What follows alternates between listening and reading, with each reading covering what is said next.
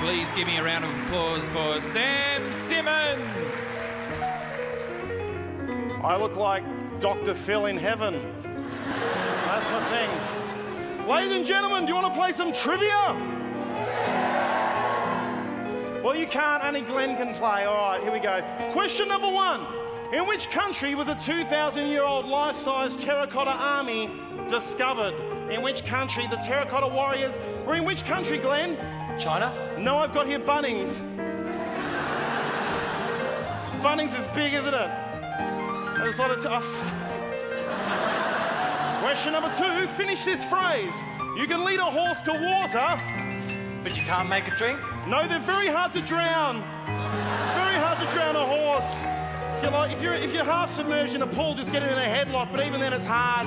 Hard to get your whole arm around the. Question number three Which famous poet read a poem at John F. Kennedy's funeral? A famous poet? Any culture vultures in? Glenn? Is it Robert Frost? No, I've got here Dr. Seuss.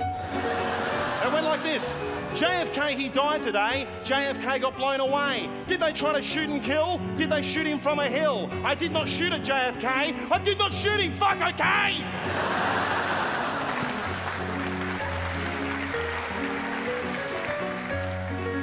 Okay, question number five. In the animal kingdom, which animal is known as the old man of the forest? Which animal is known as the old man of the forest, Glenn? Uh, the orangutan? No, it's David Attenborough. just hanging out in the tree, just being creepy.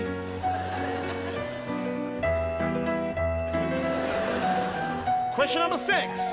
True or false? Okay, get this. I was making myself some hot crinkle cut potato chips the other day. I heated up the pan way too much. It was sizzling hot, was that chip pan. I brushed my hand against the side of it. It really, really hurt. I went, Ooh, ah, ah, ah, ah. It was a chimpanzee.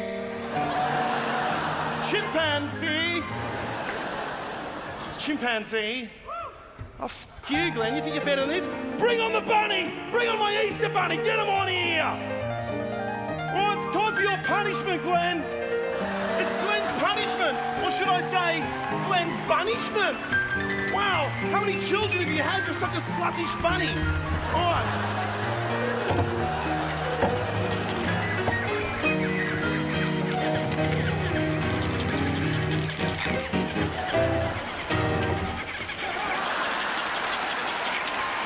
Please thank Sam Simmons.